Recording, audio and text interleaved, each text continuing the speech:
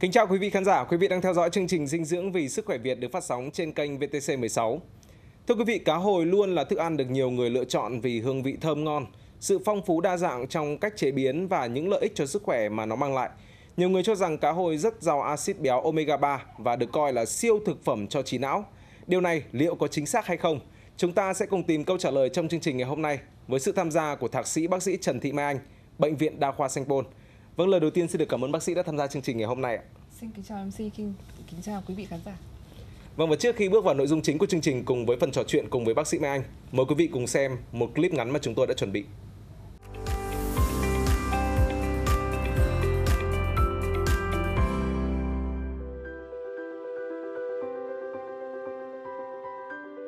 Omega 3, cá hồi là một trong những loại thực phẩm cung cấp axit béo omega 3 tốt nhất cho cơ thể. Trong 100 g cá hồi nuôi có 2,3 g axit béo omega 3 chuỗi dài, trong khi cùng một phần cá hồi tự nhiên chứa 2,6 g. Không giống như hầu hết các chất béo khác, chất béo omega 3 được coi là thiết yếu, nghĩa là phải dung nạp chúng từ chế độ ăn uống vì cơ thể không thể tạo ra chúng.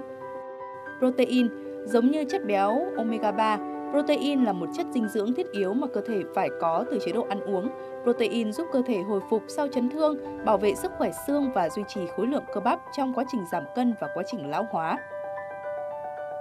Lượng vitamin B cao Dưới đây là hàm lượng vitamin B có trong 100 g cá hồi tự nhiên. Những vitamin này có liên quan đến một số quá trình quan trọng trong cơ thể, bao gồm biến đổi thực phẩm thành năng lượng, tạo và sửa chữa DNA và giảm viêm, các nghiên cứu đã chỉ ra rằng tất cả các vitamin B phối hợp với nhau để duy trì hoạt động tối ưu của não và hệ thần kinh. Kali, điều này đặc biệt đúng với cá hồi tự nhiên, cung cấp 18% RDI trên 100 g so với 11% cá hồi nuôi. Kali giúp kiểm soát huyết áp. Một phân tích lớn của 31 nhà nghiên cứu cho thấy bổ sung kali sẽ làm giảm huyết áp, đặc biệt là khi được thêm vào chế độ nhiều natri. Selenium Selenium là một khoáng chất được tìm thấy trong một số loại thực phẩm. Nó được coi là một khoáng chất vi lượng, có nghĩa là cơ thể chỉ cần một lượng nhỏ của nó. Tuy nhiên, nhận đủ selen trong chế độ ăn uống rất quan trọng. Các nhà nghiên cứu đã chỉ ra rằng selen giúp bảo vệ sức khỏe của xương, giảm kháng thể tuyến giáp ở những người mắc bệnh tuyến giáp tự miễn và có thể làm giảm nguy cơ mắc bệnh ung thư. Trong 100 g cá hồi cung cấp từ 59 đến 67% selen.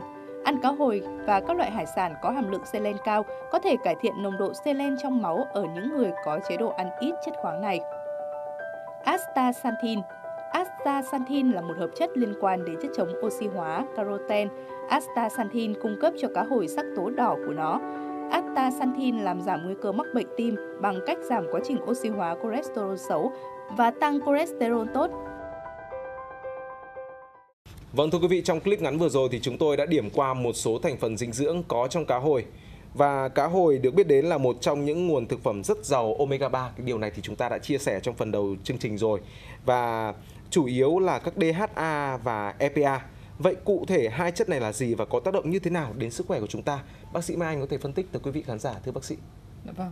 À, như quý vị cũng biết là DHA và EPA là những cái chất mà axit béo rất thường xuyên chúng ta thấy trên các chương trình quảng cáo là được coi là những siêu cường cho trí não không chỉ là trẻ em mà thậm chí cả những những người làm việc trí óc những người uh, lớn tuổi đang ở trong giai đoạn mà uh, các tổ chức uh, thần kinh có xu hướng là thoái hóa dần. Thế thì đối với cái trẻ em là cái đối tượng mà đang rất là cần chất dinh dưỡng cho sự phát triển hoàn thiện của trí não thì à, DHA và EPA có đóng vai trò đặc biệt là quan trọng vì nó góp phần là làm hoàn thiện và hình thành hoàn thiện thêm các ừ, tổ chức não trong giai đoạn còn trẻ nhỏ ờ, trẻ nhỏ đặc biệt là các trẻ nhỏ dưới 5 tuổi. Ờ, DHA và EPA nó góp phần vào cấu trúc của các tế bào não là các tế bào có xu hướng là chỉ có giảm đi theo thời gian chứ không có xu uh, chứ không có ừ, được nhân lên hoặc là tái tạo trong quá trình lớn của cơ thể. Uh, DHA và EPA là à, những chất mà cơ thể không hoàn toàn tự tổng hợp được mà phải lấy từ nguồn thức ăn bên ngoài Tuy nhiên đối với nguồn thức ăn bên ngoài thì DHA và EPA thì không có quá nhiều trong các loại thực phẩm mà à, à, loại thực phẩm mà có mặt với cái hàm lượng cao nhất được coi à, mà ừ, chúng ta dễ dàng có thể à, gặp ở trong đời sống hàng ngày. Đó là cá hồi à, là nguồn gốc từ động vật hoặc một số loài cá khác. À, ví dụ như là cá trích cá thu À, ngoài ra thì DHA và EPA cũng có mặt ở trong một số nhóm loại thực thực vật ví dụ như là à, tạo biển hoặc là các hạt lanh, à, hạt óc chó là cũng những thực phẩm mà có nguồn gốc từ thực vật cũng rất là giàu DHA và EPA. Vâng, chúng tôi cũng được biết rằng là trong cá hồi còn có chất gọi là astaxanthin cũng là một cái chất rất là tốt cho sức khỏe của chúng ta thì bác sĩ vâng. có thể phân tích một chút ạ. Vâng, à, chất astaxanthin là một loại chất có mặt ở trong cá hồi và một số loại thực phẩm có nguồn gốc từ biển, ví dụ như là tôm, cua hay là hàu. À, thì những chất này nó có màu đỏ và cái chất này nó cũng tạo cho cái thực phẩm tạo cho những cái hải sản này có màu đỏ. Đây là một chất chống oxy hóa một trong những loại chất chống oxy hóa có nguồn gốc từ thiên nhiên cao nhất. À, và vì nó có tính chất chống oxy hóa như vậy nên là ngày nay à, nhiều nghiên cứu khoa học đã cố uh, các nhà khoa học đã cố gắng tách chiết cái chất này ra để nhằm phục vụ cho cái mục đích vì sức khỏe uh, phục vụ cho cái uh, điều trị và chăm sóc sức khỏe con người. Uh, các sản phẩm mà được ứng dụng của astaxanthin ví dụ như là các chất uh, cho chị em làm đẹp với những sản phẩm là kem giữa astaxanthin uh, làm giảm những cái sự hình thành các dấu hiệu lão hóa ở trên bề mặt da hoặc là các sản phẩm astaxanthin uống dùng để làm giảm à, quá trình lão hóa của cơ thể. Đặc biệt là những người có nguy cơ tim mạch rất là cao hoặc là đã được có có các bệnh lý tim mạch rồi để làm giảm những cái biến chứng của nguy cơ của tim mạch. Đồng thời là cái astaxanthin à, cái astaxanthin này nó còn có tính chất là chống viêm nữa. Nó có tính chất là chống uh, giảm đau khớp trong vấn đề một số bệnh lý về uh, viêm khớp ví dụ như là viêm khớp dạng thấp cũng đã được chứng minh và do vậy người ta cũng bắt đầu sử dụng ứng dụng này. Uh, tuy nhiên đưa vào các guideline điều trị chính thống thì chưa bởi vì lý do là các nghiên cứu chưa có đầy đủ. Tuy nhiên là vai trò của nó cũng đã được ờ, đã được chứng minh. À, còn việc nó đưa vào các guideline điều trị chính thống thì à, có thể là cần thêm thời gian nữa. À, cái chất astaxanthin này thì à, nó có mặt không quá là nhiều trong một số thực phẩm tuy nhiên nó có nó được xác định là có trong một số loại hải sản trong đó cá hồi là một trong những sản phẩm mà chúng ta có thể sử dụng như thức ăn hàng ngày Vâng ạ, chúng tôi cũng được biết rằng là cá hồi thì cũng có nhiều loại và được bán với nhiều mức giá khác nhau. Thì không biết là những loại cá hồi thì nó có khác nhau về thành phần dinh dưỡng hay không thưa bác sĩ? Có ạ. À, cá cá hồi thì uh, thời gian đầu tiên con người được biết đến cá hồi bởi vì là uh, cá hồi được uh, được bắt được là có nguồn gốc là từ ở những cái vùng biển ở phía ở miền cực Bắc, ví dụ như là các nước Bắc Âu. Uh, tuy nhiên theo thời gian thì các nhà khoa học người ta đã nghiên cứu với cái sự ưu việt từ cá hồi đó là có cái hàm lượng DHA và hàm lượng DHA và EPA rất là cao. Do vậy nên là cá hồi ngày càng được chú ý đến à, với cái ờ, vai trò đặc biệt và những chất dinh dưỡng um, có vai trò rất là quan trọng um, từ cá hồi như vậy nên là ngày nay con người đã cố gắng và họ đã thực hiện được vấn đề là chúng ta có thể uh, nuôi trồng cá hồi. Ở Việt Nam thì có những uh, chúng ta cũng biết là có những cơ sở nuôi cá hồi rất là nổi tiếng ví dụ như là cá hồi ở Sapa thậm chí đã trở là trở thành những cái thương hiệu uh, Ờ, của những cái uh, địa danh này. Uh, thế thì cá hồi nuôi và cá hồi được săn bắt tự nhiên có gì khác nhau hay không thì có bởi vì là trong quá trình uh, hình thành các chất dinh dưỡng như vậy thì nó được xuất hiện trong nó phụ thuộc vào cái thời gian được tích lũy theo thời gian và nó còn phụ thuộc vào cái phần vấn đề thức ăn của những loài cá này nữa.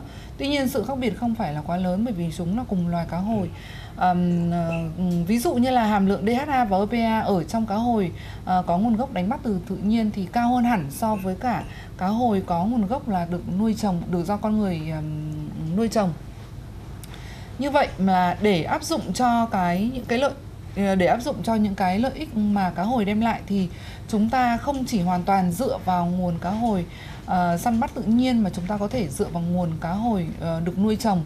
Uh, mặc dù cái hàm lượng dinh dưỡng không không được hoàn toàn tương ứng với cả cá hồi tự nhiên tuy nhiên chúng ta có thể uh, không phụ thuộc vào những cái nguồn từ tự nhiên đồng thời vẫn đảm bảo được là uh, cái cân bằng sinh học từ tự nhiên. Vâng, qua à, quan sát cá nhân thôi thì tôi nhận thấy rằng khi mà chúng ta đi siêu thị thì sẽ thấy rằng là nhiều nơi sẽ bán cá hồi là phân theo những khúc khác nhau. Và điều đáng chú ý là giữ lại toàn bộ những cái bộ phận của cá hồi ví dụ như là đầu cá này, xương cá, vây cá hay là đuôi cá đều được có thể giữ lại toàn bộ để có thể bán. Và chúng ta cũng sử dụng toàn bộ những cái loại uh, từ cá hồi này để có thể chế biến thành những cái món ăn. Còn ở những cái nhiều loại cá khác thì chúng ta sẽ thấy thành nhiều bộ phận sẽ bị bỏ đi. Không biết là lý do là do đâu phải chăng là toàn bộ con cá hồi đều có thể sử dụng chế biến thành những món ăn bổ dưỡng thưa bác sĩ. Đúng rồi. À, chúng ta nhận thấy rằng là cá hồi à, được à, bày bán trên thị trường với cái giá rất là đắt. À, lý do là có thể xuất phát là từ vì nó đắt quá nên chúng ta cố gắng sử dụng tận dụng một cách tối đa tất cả những cái gì có nguồn gốc từ cá hồi khi trong những cái bộ xương như vậy thì ờ, từ cái vây cá hồi như vậy thì những cái uh, gọi là len lỏi giữa những cái phần xương thì cái phần chất béo và thịt cá hồi cũng vẫn rất là còn. Còn còn cũng không phải là ít. Do vậy là để tận dụng tối đa cái um, những cái nguồn dinh dưỡng từ cá hồi thì người ta cố gắng tận dụng từ tất cả những cái bộ phận này. Thế còn uh, những cái bộ phận này cái sự khác nhau về chất về hàm lượng dinh dưỡng giữa các thành phần bộ phận khác nhau của cá hồi có khác nhau hay không thì nó cũng có chứ bởi vì là người ta tính trên 1 kg à, tính trên 100 g thì rõ ràng là chúng ta nhận thấy rằng là à, tỷ lệ các chất dinh dưỡng có trong lườn cá hồi thì trên 100 g lườn cá hồi thì nó cao hơn hẳn so với cả các thành phần khác. Do vậy là giá cả nó cũng sẽ đã đắt hơn. Tuy nhiên là à, chúng ta vẫn uh, ở các mức sống khác nhau ở các mức thu nhập khác nhau chúng ta cố gắng sử dụng để chế biến sao cho chúng ta vẫn tận dụng được những cái nguồn dinh dưỡng quý giá từ cá hồi. Vâng, xin được cảm ơn chia sẻ vừa rồi của bác sĩ Mai Anh. Thưa quý vị, cá hồi là loài cá có khả năng sinh sản kỳ lạ. Sinh ra ở vùng nước ngọt, sau đó di cư ra biển rồi đến mùa sinh sản lại quay về vùng nước ngọt, nơi chúng đã được sinh ra để sinh sản các thế hệ tiếp theo. Khả năng này của chúng được các nhà khoa học gọi là ký ức khứu giác, giúp chúng quay lại chính xác nơi mình đã sinh ra. Tuy nhiên, cũng có những loài cá hồi sống hoàn toàn ở các vùng nước ngọt. Trên thế giới có khoảng 9 loài cá hồi có tính thương mại quan trọng. Loài thứ nhất thuộc giống San mô, cá hồi Đại Tây Dương, 8 loài còn lại thuộc giống Oncorhynchus, được gọi là cá hồi Thái Bình Dương. Ngày nay thì cá hồi được sản xuất nhiều trong ngành nuôi trồng thủy sản ở nhiều nơi trên thế giới. Vậy cụ thể cá hồi có những tác dụng như thế nào đối với sức khỏe? Chúng ta sẽ cùng tìm hiểu trong phần tiếp theo của chương trình ngày hôm nay.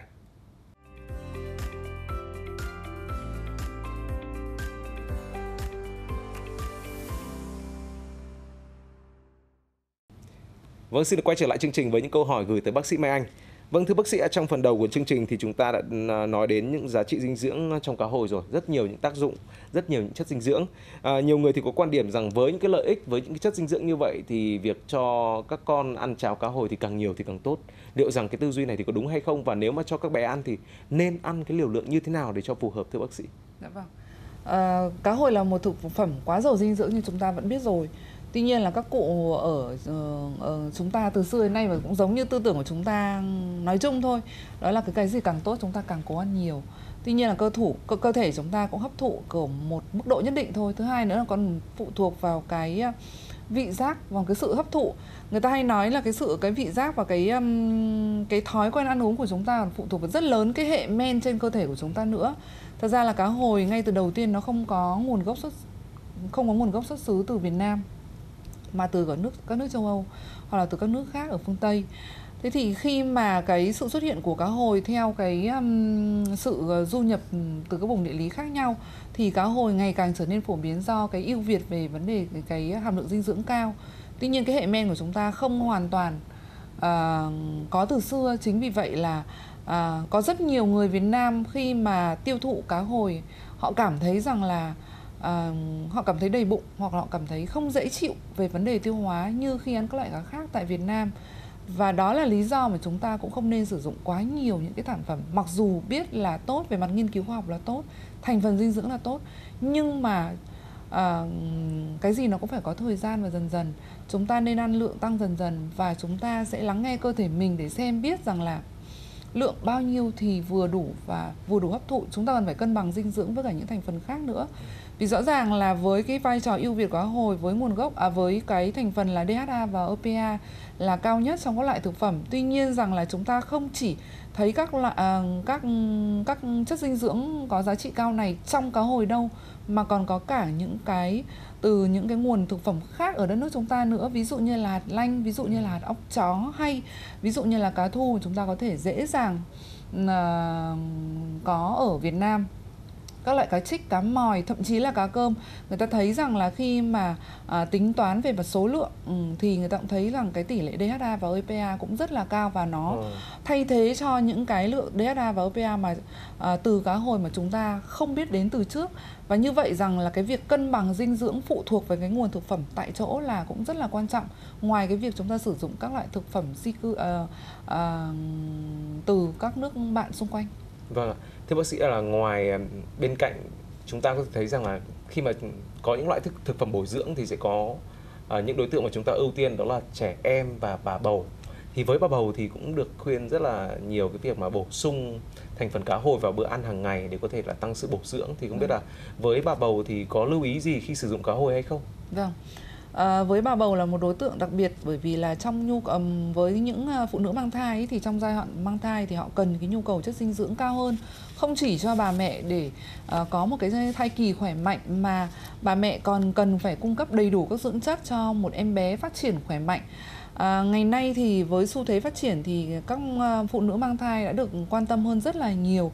Vì vậy nên là các nhà khoa học cũng chỉ ra rằng là những cái chất rất là quan trọng để cho em bé làm em bé có một cái à, gọi là khởi đầu sức khỏe từ lúc còn trong bụng mẹ làm cái nền tảng rất là tốt cho em bé về sau thì trong đó cái DHA và cái EPA được nhắc đến à, để nhằm em bé có một cái trí não phát triển tuyệt vời về giai đoạn sau À, thế thì cá hồi là một nguồn chất dinh dưỡng ờ, là một nguồn thực phẩm quan trọng để nhằm à, cung cấp cái nhu cầu dinh dưỡng này không chỉ cho bà mẹ mà còn cả cho em bé ở trong bụng của bà mẹ nữa. À, tuy nhiên là giai đoạn này thì khá là nhạy cảm. Mà cá hồi khi mà đem về Việt Nam thì do cái hàm lượng dinh dưỡng rất là cao chúng ta cũng biết rằng là Việt Nam là một đất nước nhiệt đới. Chúng ta với cái nhiệt độ nhìn chung là và khí hậu thời tiết là nóng ẩm. Do vậy cái việc mà bảo quản thực phẩm nhất là với những thực phẩm mà có giá trị dinh dưỡng cao không phải là chuyện đơn giản. Chính vì thế vấn đề bảo quản thực phẩm vẫn luôn là cái vấn đề mà các nhà thực phẩm à, những người à, phân phối cái thực phẩm cá hồi thì họ phải luôn luôn chú ý giữ những cái điều kiện bảo quản hết sức là nghiêm ngặt và chặt chẽ để nhằm cho cái giá trị dinh dưỡng của cá hồi được đảm bảo. Đồng thời các vi sinh vật uh, xuất hiện trong cái quá trình mà bảo quản hoặc là uh, vận chuyển nó không gây ảnh hưởng đến chất lượng thực phẩm.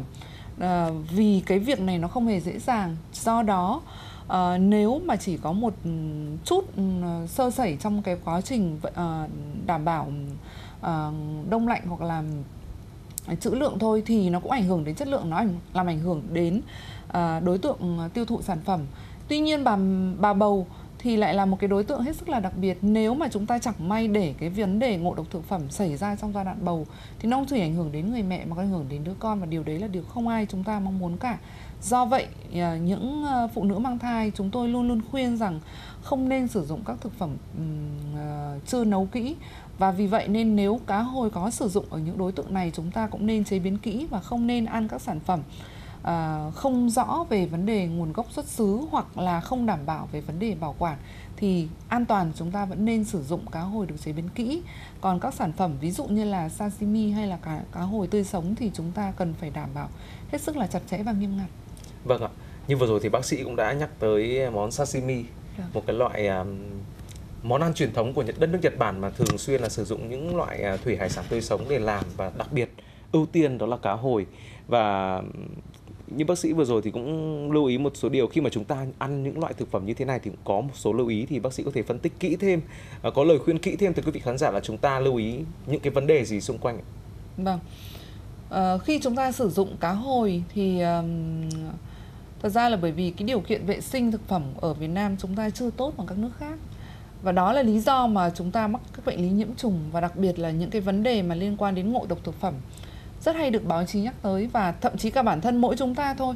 Nhưng nếu mà người ta thống kê về vấn đề rối loạn tiêu hóa liên quan đến về vấn đề vệ sinh thực phẩm thì ở người Việt Nam vẫn là những người có tỷ lệ cao nhất. Vì có thể là do thói quen ăn uống của chúng ta chúng ta có thể ăn đồ gỏi đồ tái chiên hoặc là chúng ta đặt ở dưới trong một cái môi trường mà nóng ẩm khiến cho vi sinh vật uh, nó rất là dễ dàng nhân lên.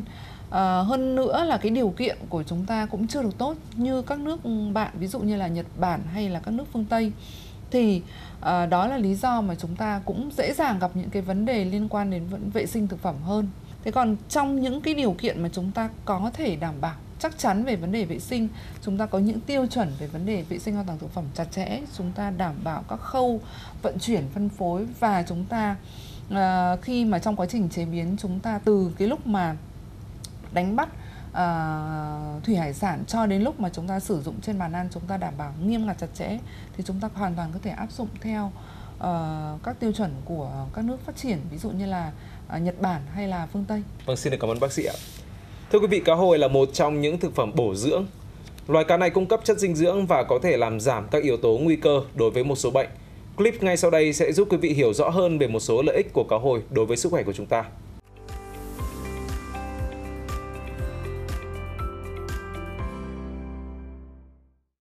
Giảm nguy cơ mắc bệnh tim, ăn cá hồi một cách thường xuyên có thể giúp chống lại bệnh tim. Điều này phần lớn là do hàm lượng omega 3 có trong cá hồi. Nghiên cứu cho thấy rằng khi sự cân bằng của hai axit béo omega 6 và omega 3 này bị mất đi thì nguy cơ mắc bệnh tim sẽ tăng. Ngoài ra, tiêu thụ cá hồi làm giảm triglycerid và tăng mức độ chất béo omega 3 nhiều hơn so với bổ sung dầu cá. Giúp xương chắc khỏe, Ăn cá hồi cung cấp nhiều loại khoáng chất quan trọng như canxi, phosphor, magie và kẽm, giúp hỗ trợ sự phát triển và bảo vệ xương. Bên cạnh đó, nó cũng cung cấp vitamin A, vitamin D, góp phần tăng cường sức khỏe xương khớp. Cải thiện thị lực Các loại cá biển đều có tác dụng giúp cải thiện thị lực nhờ vào lượng omega 3, vitamin A, D dồi dào. Những chất này có tác dụng bảo vệ mắt khỏi các tác nhân bên ngoài và các vấn đề liên quan đến mắt. Cải thiện tinh thần Ăn cá hồi có thể giúp cải thiện tình trạng tâm lý, giảm căng thẳng, lo âu và trầm cảm nhờ vào EPA và DHA tác động lên cấu trúc não bộ. Ngoài ra, omega 3 có vai trò quan trọng trong việc duy trì chức năng não bộ, tăng sự tập trung. Cung cấp năng lượng, cá hồi chứa nhiều chất dinh dưỡng quan trọng như protein, axit béo omega 3, vitamin B12 và D, canxi, magie, selen, tất cả đều có thể giúp cung cấp năng lượng và tăng cường sự tỉnh táo.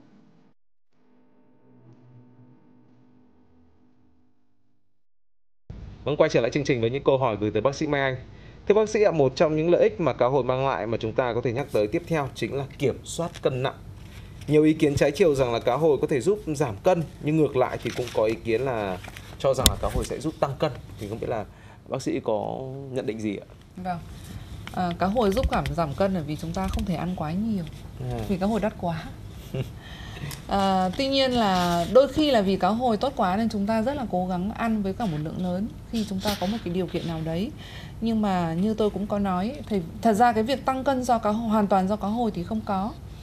Bởi vì chúng ta cũng chỉ tiêu thụ ở một lúc vừa phải. Thứ hai nữa là hàm lượng các chất béo có trong cá hồi phần lớn là các axit béo uh, không no bão hòa. Đấy là những cái axit béo rất là tốt cho cơ thể. Nó làm tăng cái lượng HDL là những cái axit béo có lợi cho hệ tim mạch nó giúp dọn dẹp các mạch máu dọn dẹp các mảng sơ vữa trong cơ thể của chúng ta. Và do vậy thậm chí một số nhà khoa học còn đề nghị đưa um, cái chất DHA và EPA vào làm uh, trong những cái guideline trong những cái hướng dẫn điều trị vấn đề tim mạch để nhằm làm giảm các biến chứng và các nguy cơ của bệnh lý tim mạch xảy ra nữa cơ. Tuy nhiên rằng là à, trong một số nhiều trường hợp mà à, do chúng ta thần tượng quá mức cá hồi chúng ta tiêu thụ quá nhiều cá hồi có thể làm đến cái việc tăng cân. Bởi vì trong cá hồi thì, ờ, cái hàm lượng chất béo nó rất là cao. Đặc biệt là những cái khu vực ví dụ như là bụng cá chúng ta nếu đã từng sử dụng chúng ta thấy bụng cá nó rất là ngậy. Và đôi khi ờ, người dùng không thể ăn quá là nhiều.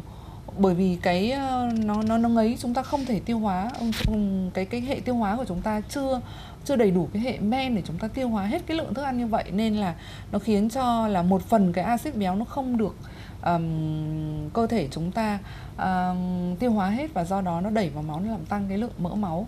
Tuy nhiên cái lượng này nó không phải là nhiều chỉ có những ai sử dụng gọi là thần một cách thần tượng quá mức trong ngày. Có những người tôi được biết rằng là có những người cố gắng ăn đến hàng uh, nửa cân đến 8, 500 đến 800 gram cá hồi trong một ngày vì nó tốt quá nó giảm nguy cơ biến chứng tim mạch à, nó giảm lão hóa nó tốt cho trí não. Ờ, dù ăn đến không cảm thấy ngon vẫn cố gắng ăn. Tuy nhiên rằng là à, cái lượng chất béo cái gì à, cơ thể chúng ta cũng có một cái hệ men để chúng ta tiêu hóa cái lượng thực phẩm chúng ta đưa vào. Nếu chúng ta đưa vào quá nhiều thì cơ thể chúng ta không thể xử lý kịp thời và do nó sẽ được đẩy ra máu dưới dạng những cái chất béo dưới dạng những cái ờ, làm tăng mỡ máu và do vậy là nó cũng không hoàn toàn là tốt khi mà cái gì để để để cái thực phẩm nào nó quá mức cho phép cả. Ngoài ra những cái người sử bị tăng cân khi sử dụng cá hồi là họ không chỉ sử dụng một cá hồi họ còn sử dụng những thức ăn khác nữa. À, do vậy nên là à, đối với cả dinh dưỡng thì nó là sự phối hợp hài hòa giữa nhiều nhóm thức ăn khác nhau và làm sao chúng ta có một cái khẩu phần ăn hợp lý với những thành phần dinh dưỡng hợp lý cân bằng là cái yếu tố hết sức quan trọng. Những ờ, những loại thực phẩm nào có giá trị dinh dưỡng cao đem có, cung cấp những cái chất dinh dưỡng cần thiết ở từng giai đoạn khác nhau thì chúng ta có thể tham khảo ý kiến từ các bác sĩ, các nhà dinh dưỡng học để chúng ta có một cái khẩu phần hợp lý ở từng lứa tuổi và thậm chí là đối với cả từng đối tượng khác nhau mang những cái bệnh lý khác nhau nữa thì nó sẽ là hợp lý hơn đối với cả từng đối tượng ạ. Vâng như vậy là việc giảm cân hay là tăng cân thì không phải là do cá hồi mà còn do cả khẩu phần ăn của chúng ta hàng ngày nữa phải Đúng không ạ? Vâng thưa bác sĩ là không biết là với cái lợi ích tốt như vậy thì không biết là có cái nhóm đối tượng nào mà không nên hoặc là nên hạn chế ăn cá hồi hay không thưa bác sĩ? Vâng. À, thật ra là cá hồi là một loại thực phẩm, nó không phải là một loại thuốc. Tuy nhiên cái hàm lượng dinh dưỡng nó cao, tốt đối với cả một số đối tượng đặc biệt như chúng ta đã đề cập đó là những người có bệnh lý tim mạch, tiểu đường, à, đối tượng trẻ em, đối tượng phụ nữ có thai là những đối tượng mà có nhu cầu dinh dưỡng cao của những cái chất này. Thế nhưng đối tượng nào mà chúng ta không được sử dụng thì uh, có những người có liên quan đến những cái bệnh rối loạn nội tiết họ có những liên quan đến vấn đề men tiêu hóa những cái men chuyển hóa trong cơ thể gặp ừ. vấn đề về vấn rối loạn chuyển hóa axit béo chẳng hạn thì những cái đối tượng này thậm chí họ phải kiêng hoàn toàn các loại chất béo và đấy là những đối tượng mà chưa chắc họ đã được sử dụng cá hồi cũng như các à, cũng như các loại thực phẩm mà có cái hàm lượng chất béo cao khác. Thế thì những đối nhóm nhóm đối tượng đặc biệt này đối với bác sĩ riêng của họ họ đã có những cái lời khuyên để có một cái chế độ dinh dưỡng cân bằng hợp lý không hoàn toàn sử dụng cá hồi hay là à, những loại thực phẩm mà có axit béo à, cao như vậy thì à, các bác sĩ sẽ có những cái lời khuyên để họ có những cái loại thuốc để họ có thể bổ sung vào cho cơ thể có một cái cân đối mặc dù có những cái bệnh lý đặc biệt khác nhau. Vâng thưa quý vị khán giả, vừa rồi thì bác sĩ Trần Thị Mai Anh đã có những chia sẻ rất chi tiết về công dụng cũng như là cách sử dụng cá hồi cho hiệu quả.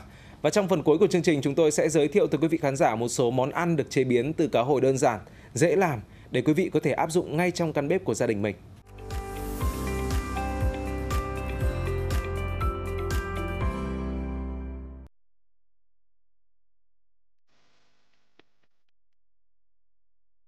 Lườn cá hồi sốt chua ngọt Món lườn cá hồi sốt chua ngọt thơm ngon lạ miệng chắc chắn là món ăn không thể bỏ qua.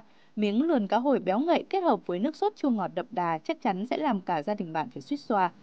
Cách làm: ngâm 500mg lườn cá hồi trong 300ml sữa tươi không đường từ 5 đến 8 phút nhằm giảm độ tanh và giúp cá có được độ thơm ngậy hơn.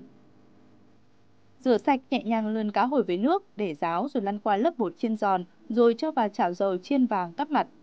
Chuẩn bị sốt chua ngọt gồm 2 muỗng tương cà, 2 muỗng canh dầu hào, 1 muỗng đường kính, 20ml giấm, 3 thìa nước tương và khuấy đều tạo hỗn hợp. Phi thơm tỏi trên bếp đến khi dậy mùi thì cho cá đã chiên giòn cùng nước sốt mới pha vào tảo nhẹ tay. Cuối cùng cho thêm hành lá và bày trí ra đĩa để thưởng thức. Salad cá hồi Salad cá hồi thanh mát, bổ dưỡng cho sức khỏe. Món ăn này phù hợp với cả những người muốn giảm cân mà vẫn muốn đủ chất. Chỉ cần chuẩn bị một ít rau củ như xà lách, cà chua bi, dưa chuột, bơ cùng một quả trứng gà và sốt ăn kèm là đã có thể làm được một món salad. Cách làm, sau khi rửa sạch thái nhỏ vừa ăn các thành phần rau củ, trứng gà đem luộc chín và chia thành 4 phần đều nhau. Các hồi phi lê áp chảo trong khoảng 3 phút với dầu ô liu. Cuối cùng cho các nguyên liệu trên vào một bát tô lớn trộn đều cùng sốt. Cá hồi muối một món ăn phù hợp với những người thích chế biến cá hồi đậm vị và thưởng thức lâu dài đó chính là cá hồi muối. Món ăn này sẽ đòi hỏi sự tỉ mỉ trong cách thực hiện cũng như cần đảm bảo đầy đủ thời gian ủ muối để cá ngấm đều gia vị. Cách làm, trộn hỗn hợp gia vị gồm muối, đường và rau thì là vào một bát lớn. Trải kín màng bọc thực phẩm lên một chiếc hộp lớn, rồi giải 1 phần 2 hỗn hợp muối lên trên. Đặt miếng cá hồi phi lê vào hộp, để phần da áp xuống dưới, rồi phủ lớp muối còn lại lên trên bọc kín miếng cá với màng mọc thực phẩm và cất ngăn mát tủ lạnh trong 12 tiếng. Sau đó lấy miếng cá hồi ra và lọc bớt phần nước đi, rồi để lại vào ngăn mát. 12 tiếng sau tiếp tục lấy ra và chất bỏ nước. Sau 36 tiếng bỏ cá ra ngoài, cạo sạch lớp muối và thấm khô, rồi rắc thì là lên trên và thưởng thức. Vâng thưa quý vị, thông tin vừa rồi cũng đã khép lại chương trình của chúng tôi ngày hôm nay. Và một lần nữa xin được cảm ơn bác sĩ Mai Anh đã dành thời gian tham gia chương trình ngày hôm nay. Vâng, xin kính chào chị. Cảm ơn quý vị đã quan tâm theo dõi. Xin kính chào tạm biệt và hẹn gặp lại.